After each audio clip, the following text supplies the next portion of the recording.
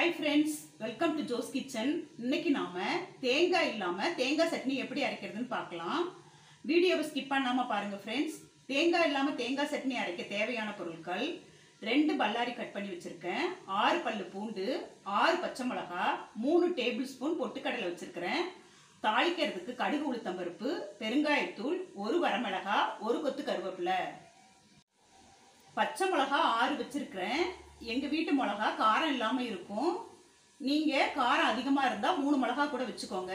இந்த சட்னிக்கு பச்சை மிளகா தான் கண்டிப்பாக வைக்கணும். அப்போ தான் தேங்காய் சட்னி மாதிரி இருக்கும். வாங்க இந்த சட்னி செஞ்சு எடுத்துகிட்டு வரலாம். அடுப்பை ஆன் பண்ணி ஒரு வானலியை வச்சு ரெண்டு டீஸ்பூன் எண்ணெய் ஊற்றிருக்கிறேன் எண்ணெய் காஞ்சிருச்சு. பச்சை மிளகா போட்டுட்டு தண்ணி நின்று வெடிக்கும்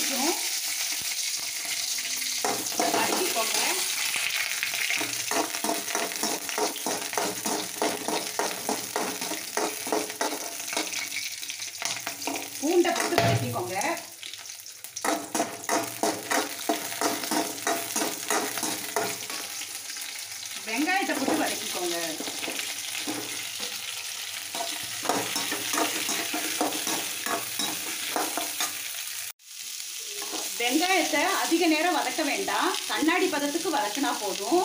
அதிக நேரம் வதக்குனீங்கன்னா சட்னி கலர் சேஞ்ச் ஆயிடும் இப்போ அடுப்பை ஆஃப் பண்ணிடுங்க. இதை ஆற வச்சுட்டு அரைக்கலாம். ஆற வச்சு அரைச்சாதான் மிக்ஸி வீணாகாமல் இருக்கும். சட்னி சூடாகாமல் இருக்கும். ஆறிச்சு ஆறினதை ஒரு மிக்ஸி ஜாரில் போட்டுக்கோங்க.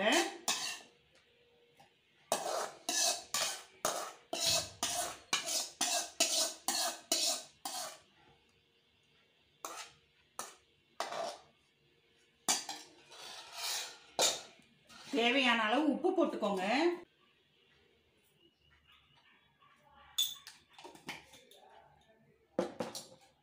எடுத்து வச்சிருக்கிற பொட்டுக்கடலையை போட்டுக்கோங்க. பொட்டுக்கடலையே வதக்கக்கூடாது. பச்சையாவே போட்டுக்கணும். வாங்க அரைச்சிட்டு வந்துடலாம். இந்த சட்னியை தேங்காய் சட்னி மாதிரி இப்படி கரகரப்பாக தான் அரைக்கணும். ரொம்ப வலுவலுன்னு அரைக்கக்கூடாது. சட்னியை மிக்ஸி ஜார்லேருந்து ஒரு பவுலுக்கு ட்ரான்ஸ்ஃபர் பண்ணியிருக்கேன் இப்போ சட்னிக்கு தேவையான தாளிதம் செஞ்சு எடுத்துகிட்டு வரலாம் வாங்க. அடுப்பை ஆன் பண்ணி ஒரு தாளிப்பு சட்டியை வச்சு ரெண்டு டீஸ்பூன் எண்ணெய் ஊற்றிருக்கிறேன் எண்ணெய் காஞ்சிருச்சு. ரெண்டு டீஸ்பூன் கடுகு உளுத்தம்பருப்பு போட்டுக்கோங்க. கடுகு உளுத்தம்பருப்பு பொரிஞ்சிருச்சு. ஒரு பிஞ்சு பெருங்காயத்தூள் போட்டுக்கோங்க. ஒரு வரமிளகாயை ரெண்டாக உடச்சி போட்டுக்கோங்க. கருவேப்பிலையை போட்டுக்கோங்க.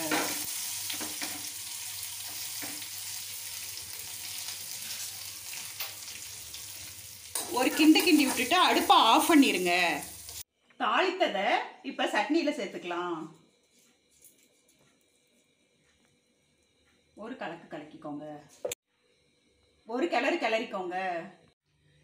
தேங்காய் சேர்த்துக்கூடாதுன்னு டாக்டர்ஸ் அட்வைஸ் பண்ணுறவங்களுக்கு இந்த சட்னியை சாப்பிட்டாங்கன்னா தேங்காய் சட்னி சாப்பிட்டா மனநிறைவு கிடைக்கும்.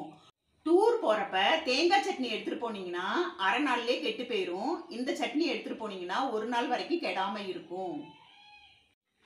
இந்த சட்னியை அரைச்சி பார்த்துட்டு எப்படி இருந்துச்சுன்னு கமெண்ட் பண்ணுங்கள் ஃப்ரெண்ட்ஸ் நிறைய பேர் சப்ஸ்கிரைப் பண்ணாமல் பார்க்குறீங்க ஃப்ரெண்ட்ஸ் நீங்களும் சப்ஸ்கிரைப் பண்ணால் நமக்கு பவர் கிடைக்கும். நீங்கள் சப்ஸ்கிரைப் பண்ணி பார்க்கறது இது போன்ற வீடியோக்களை நாங்கள் தொடர்ந்து போடுறதுக்கு மோட்டிவேட் பண்ணுற விதமாக அமையும். லைக் பண்ணுங்கள் ஷேர் பண்ணுங்கள் கமெண்ட் பண்ணுங்கள் சப்ஸ்கிரைப் பண்ணுங்கள் மறக்காமல் பெல் ஐக்கானை கிளிக் பண்ணுங்கள் தேங்க்யூ பை